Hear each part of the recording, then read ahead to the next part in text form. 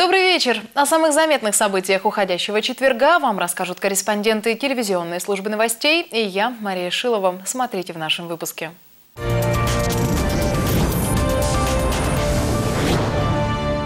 Процент брака минимален, а, работает четко. Вас снимает видеокамера. Улыбнитесь и сбавьте скорость. К началу 2018 года в Перми появится еще более 70 камер для фиксации нарушений ПДД.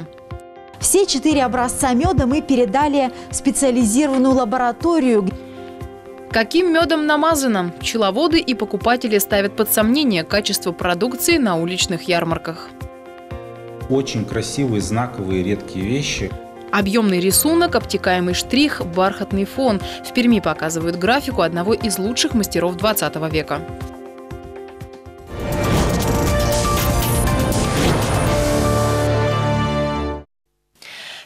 Снова минируют. Сообщения о заложенных взрывных устройствах, как и в сентябре, поступили от неизвестных. Они сообщили об угрозе взрывов в нескольких крупных торговых центрах.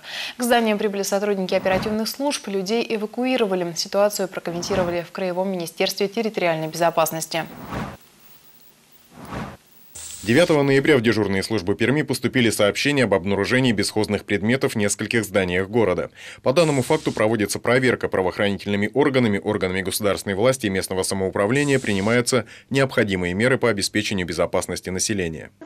Напомним, первая волна сообщений о минировании школ, здания администрации и других муниципальных учреждений прокатилась по Перми 12 сентября. Кроме того, неизвестные сообщили о заложенных взрывных устройствах в зданиях авто и железнодорожного вокзала, а также в крупных торговых центрах. Тогда также во всех случаях была проведена экстренная эвакуация.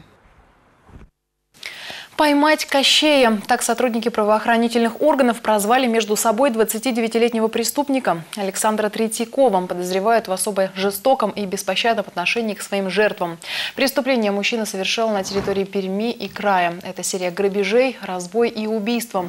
По словам потерпевших, человек легко входит в доверие, знакомится на улице и представляется профессиональным музыкантом. В подтверждение своих слов достает из сумки звуковое оборудование. Хорошо исполняет известные шлягеры. Попав в квартиру к жертве, зверски избивает ее и забирает ценные вещи. На вид ему 27-29 лет, рост около 180 сантиметров, среднего телосложения, э, может быть одет э, в куртку темно-синего цвета, удлиненную, э, отворот воротника обшит желтым материалом желтого цвета, Значит, может также быть одет свитер синего цвета, либо серого цвета и штаны спортивные синего цвета.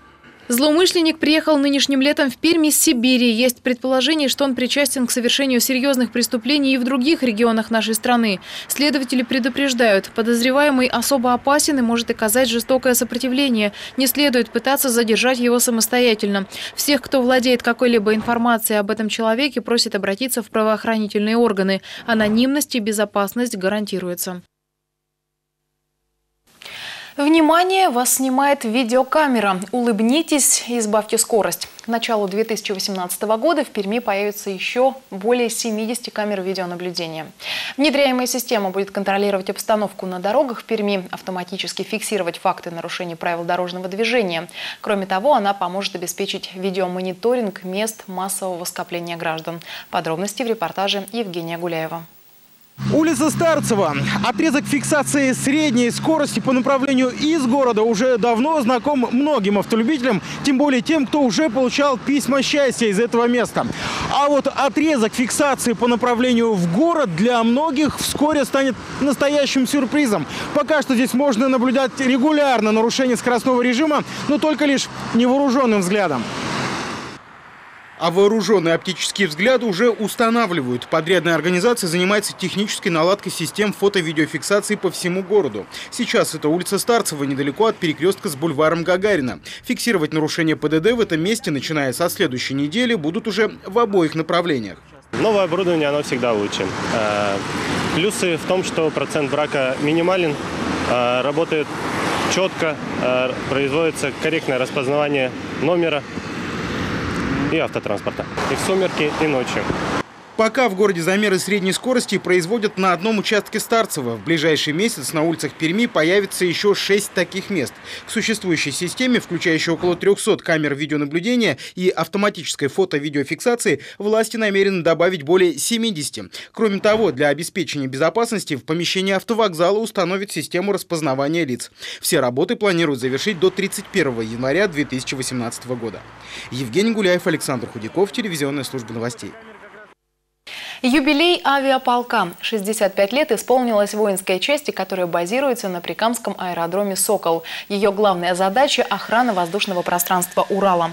Основу парка составляют современные модификации истребителя-перехватчика МиГ-31. В этом году по гособоронзаказу в полк поступили 6 модернизированных машин.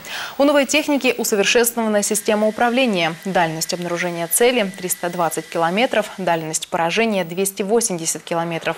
Самолет способен одновременно обнаружить 24 воздушные цели и поразить 8 из них. Задачи полка, как и всегда с момента его формирования, это защита воздушных рубежей э, в своих зонах ответственности.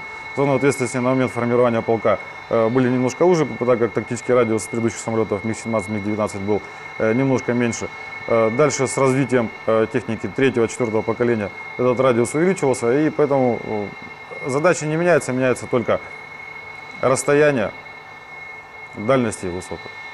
Добавим, что в октябре этого года экипажи полка получили отличную оценку по итогам летно-тактических учений истребительной авиации Центрального военного округа в Астраханской области. Наши летчики поразили все мишени, имитирующие вертолеты и беспилотные летательные аппараты на различных высотах. Важный шаг к самостоятельной жизни. В Перми создан правовой прецедент. Несколько выпускников детского дома-интерната для детей с инвалидностью получили статус ограниченной дееспособности. Это значит, что ребята смогут работать, принимать самостоятельные решения. Об этой истории создают документальный фильм. Юлия Зыкова продолжит тему. Герои документального фильма пермского режиссера Ольги Аверкиевой – выпускники коррекционного детского дома. После достижения 18 лет судьба таких молодых людей, как правило, определена на всю оставшуюся жизнь. Пребывание в психоневрологическом интернате для взрослых. Здесь все решения за них принимает руководство учреждения. Они не могут создавать семьи, работать, распоряжаться собственными средствами. Два года назад в юридическую практику вошло понятие «ограниченная дееспособность», и это открыло для ребят с инвалидностью новые возможности потому что вместо опекуна при ограниченной дееспособности назначается попечитель. Человек уже может работать, зарабатывать зарплату, он может создавать семью, он может тратить свои собственные небольшие деньги, а попечитель э, вступает в отношения, когда решаются какие-то серьезные вопросы, такие как продажа или покупка квартир, еще что-то. Пятеро сирот-инвалидов решили побороться за свою самостоятельность. Помогал им в этом благотворительный фонд «Дед Морозим», который оплачивал учебу ребят в техникуме-интернате в поселке Садоягодное Кунгурского района. Там они получили профессии рабочих зеленого хозяйства, садовников. Затем прошли медэкспертизу, после чего суд вынес решение об ограниченной дееспособности.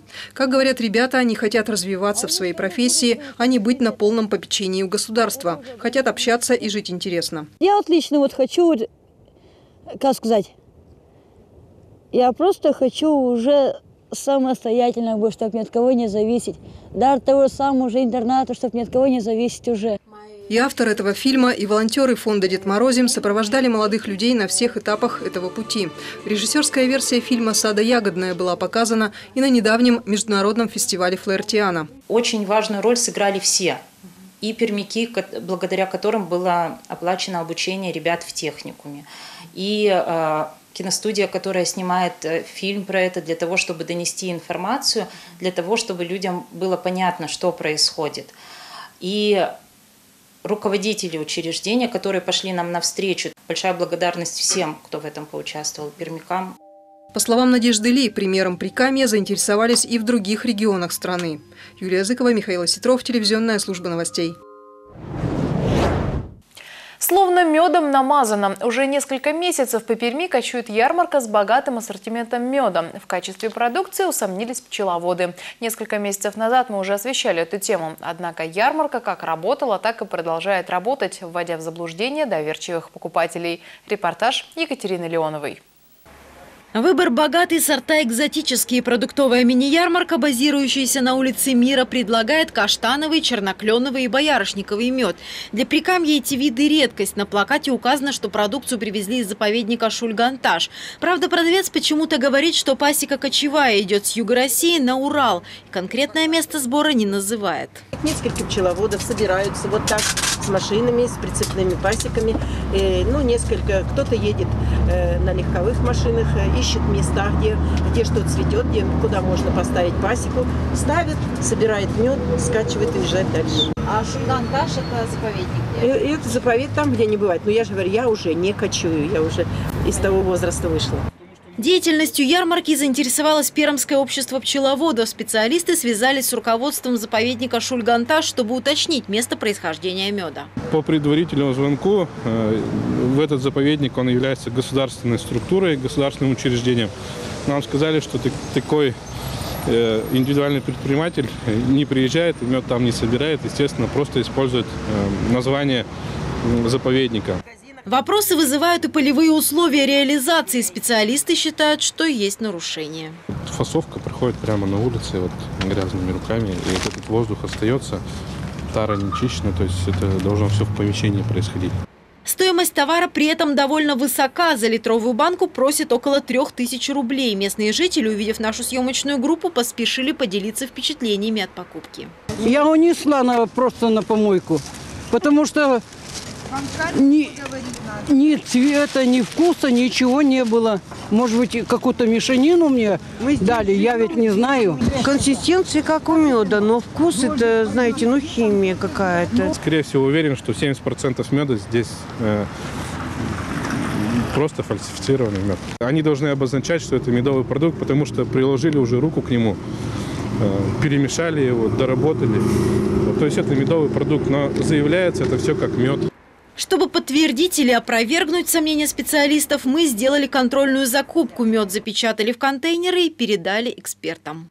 Все четыре образца меда мы передали в специализированную лабораторию, где проведут пыльцевой анализ и физико-химические исследования. Только после этого можно будет сказать, соответствует ли мед заявленным характеристикам и требованиям ГОСТ. Екатерина Леонова, Валерий Шикунов, телевизионная служба новостей. Полный юмора и печали. Мир Антона Чехова в скульптуре и графике можно увидеть в Пермской галерее «Уникум». Там открыли выставку редких иллюстраций к прозе великого писателя. Показывают и эскизы к известному памятнику Чехова в Москве. Подробности в нашем следующем репортаже. Человек, стремящийся отгородиться от внешнего мира, живущий в страхе и агрессии. Для него были ясны только циркуляры и газетные статьи, в которых запрещалось что-нибудь. Все это чеховский Беликов «Человек в футляре». К одному из самых ярких рассказов писателя 70 лет назад была создана серия иллюстраций. Их автор – ленинградский художник Анатолий Каплан. Это один из лучших графиков 20 века. Его работы хранятся в музеях Ватикана, Нью-Йорка, Лондона, в крупнейших галереях нашей страны. А мы показываем уникальные издание, хотя оно было при жизни, э, ну, в смысле, в, э, еще художника, и издано довольно большим тиражом, но, но так как бумага была не очень э, крепкая, то до нас дошло не такое большое количество экземпляров в хорошем состоянии. Все эти иллюстрации художник создавал в технике литографии, когда изображение сначала наносят на каменную пластину. Обычно это плотный известняк. Его поверхность обрабатывают, протравливают кислотой. После всех необходимых манипуляций рисунок под давлением переносят на бумагу. В середине прошлого века Анатолий Каплан стал в Союзе одним из признанных мастеров литографии. Черты его стиля – объемный рисунок, внимание к деталям, мягкие штрихи, создающие эффект бархатного фона. Чеховскую тему на этой выставке дополняют работы еще одного крупного советского мастера – скульптора Михаила Аникушина. Это эскиз и бронзовая модель к памятнику писателя в Москве. Очень красивые, знаковые, редкие вещи, которые мы тоже включили в эту экспозицию. Два питерских ленинградских автора в, в одной экспозиции. Это как-то вот мы посчитали символично. Чеховская выставка в галерее «Уникум» будет работать до конца ноября, а затем литературную тему подхватит следующая экспозиция. Зрителям покажут редкие книжные иллюстрации к прозе Гоголя и Достоевского, поэзии Пушкина и Шекспира. Это графика, созданная лучшими российскими художниками за последние полтора века. Юлия Зыкова, Валерий Шикунов, телевизионная служба новостей.